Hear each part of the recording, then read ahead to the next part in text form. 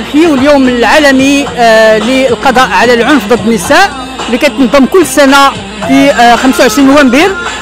هذه السنة هذه قررت عدد من المنظمات النسائية وخاصة مغربية ضد الاعتقال السياسي اللي هي مجموعة نساء مغربيات من مختلف المشارب كيناضلوا ضد الاعتقال السياسي وضد الاستبداد ومن أجل حرية التعبير في المغرب للنساء والرجال طبعا.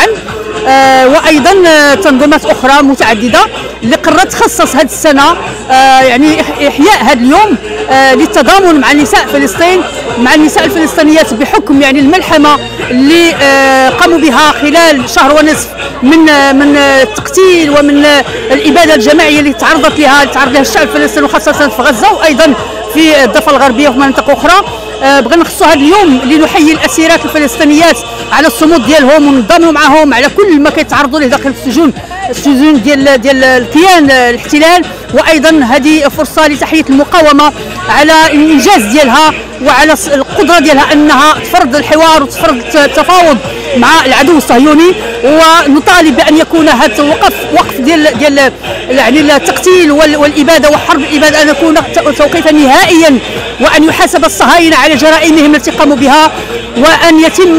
يعني كذلك آه، إسقاط التطبيع في هذه في البلدان التي لا زالت مطبعة ومن ضمنها النظام المغربي الذي يصر على إبقاء آه، يعني إبقاء أياده في يد الصهاينة المجرمين. كنوجهوا التحيه للاسيرات المحررات اللي تم تحريرهم بفضل المقاومة الفلسطينية وكنعتبروا على آه، يعني كنطالبوا بتحرير جميع الأسيرات والأسرى آه، في السجون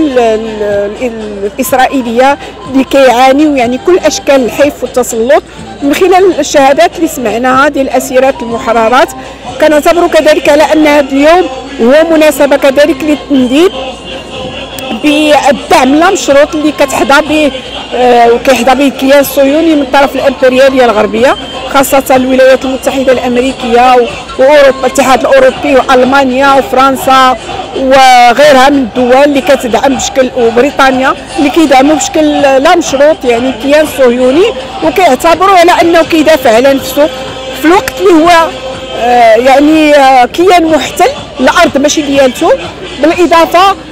لأنه آه، كيمتلك أكبر ترسانة استخباراتية وأكبر ترسانة يعني حربية في المنطقة كلها ومع ذلك كيعتبروا على أنه كيدافع على نفسه أمام شعب اللي هو اعزل آه، كندوا بالحصار